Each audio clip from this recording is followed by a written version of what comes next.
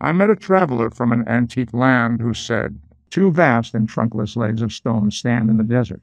Near them on the sand half sunk a shattered visage lies, whose frown and wrinkled lip and sneer of cold command tell that its sculptor well those passions read which yet survive, stamped on these lifeless things, the hand that mocked them and the heart that fed.